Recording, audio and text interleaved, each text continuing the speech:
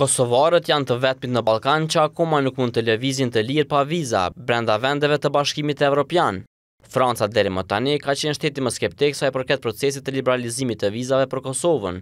Ky shtet ka kushtëzuar hyrjen në fuqi të liberalizimit të vizave me nisjen e zbatimit të sistemit digjital ETIAS. Por këtë kushtëzim po e kundërshton eurodeputetja Viola von Cramon.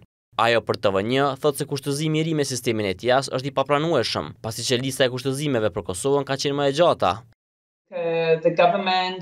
Kosova i ka përmbushur të gjitha kriteret për liberalizimin e vizave dhe Komisioni Evropian dhe Parlamenti Evropian kanë thirrur vazhdimisht Këshillin për ta dhënë atë që nga viti dy mijë e tetëmbëdhjetë. Asnjë kusht apo kriter i ri nuk është i pranueshëm për ne, pasi lista për Kosovën ka qenë më e gjata deri më tani dhe gjithçka është përmbushur.